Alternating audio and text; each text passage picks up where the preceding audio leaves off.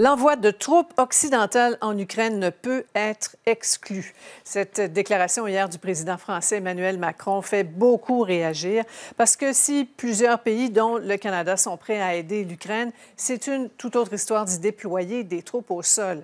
Chez nous, le ministre Bill Blair a rapidement fermé la porte. Raymond Filion. Bien, messieurs les ministres. C'est lors d'une conférence sur l'Ukraine lundi que le président français a tenu ses propos. Il n'y a pas de consensus aujourd'hui pour envoyer de manière officielle, assumée et endossée des troupes au sol, mais en dynamique, rien ne doit être, rien ne doit être exclu. Une déclaration qui a fait le tour du monde. Ce n'est pas le temps de faire ça. Le gouvernement canadien est catégorique. Nous continuerons à fournir l'aide militaire dont l'Ukraine a besoin, mais en tant que membre de l'OTAN, le Canada n'a pas l'intention de déployer des troupes de combat en Ukraine, de déclarer le ministre de la Défense. À travers l'Europe mardi, à peu près tous les pays de l'OTAN ont nié envisager déployer des militaires.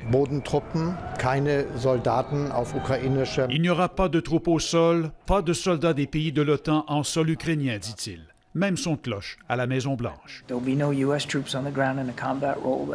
Emmanuel Macron a-t-il parlé trop vite? C'est très, très, très maladroit de sa part. D'abord, comme leader d'une puissance importante, de se faire euh, essentiellement le désavouer par tous ses collègues. C'est pas très élégant.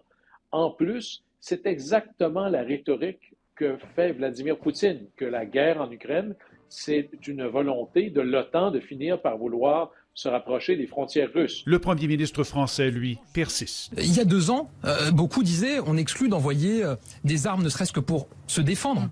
On est aujourd'hui à envoyer des missiles à longue portée pour soutenir les Ukrainiens face à cette agression. Donc ce qu'a rappelé le président de la République, c'est qu'on ne peut rien exclure dans une guerre qui, encore une fois, agit au cœur de l'Europe. La réaction de Moscou fut brève, un porte-parole du Kremlin déclarant que les propos d'Emmanuel Macron constituent un élément très important.